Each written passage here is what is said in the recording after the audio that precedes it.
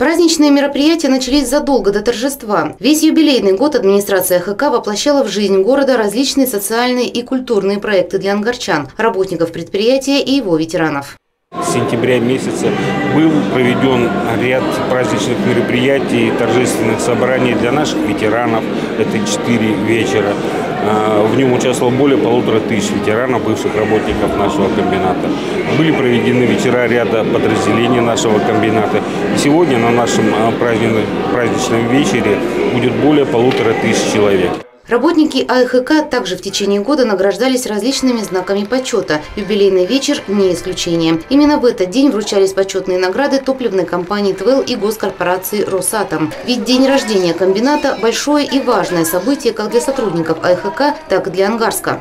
55 лет назад, 21 э, октября в 4 часа 18 минут были пущены первые 308 диффузионных машин разделительного завода в городе Ангарск. Э, в дальнейшем, в 1962 году завод был полностью укомплектован по полной программе развития.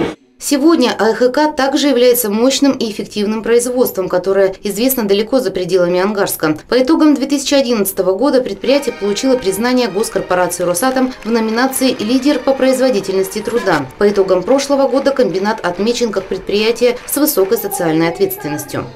В настоящее время комбинат является мощным комплексом технологически связанных наукоемких производств, продукция которого широко известна в России и за рубежом. Высокий профессионализм коллектива предприятия, умелое использование современных технологий позволяют комбинату повышать эффективность производственной деятельности и вносить достойный вклад в развитие Приангария. Слова поздравления и глубокой признательности звучали со сцены в течение всего юбилейного вечера. Приветственный адрес работникам АХК прозвучал и от генерального директора госкорпорации «Росатом» Сергея Кириенко. Сегодня Ангарский комбинат успешно решает задачи, стоящие перед топливным дивизионом «Росатом». Совершенствуются и развиваются конверсионные и разделительные производства предприятия.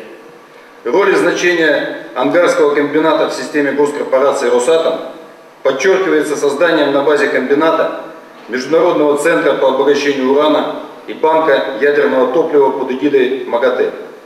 Уверен, что огромный опыт коллектива Ангарского комбината, сохраненный и приумноженный на протяжении многих лет, позволит предприятию и дальше добиваться новых результатов на благо развития нашей страны. В этот вечер работники АХК вспомнили историю предприятия, его первых руководителей и многие годы труда на благо комбината и нашего города. Вечер завершился праздничным концертом. Марина Тингова, Владимир Селиванов. Местное время.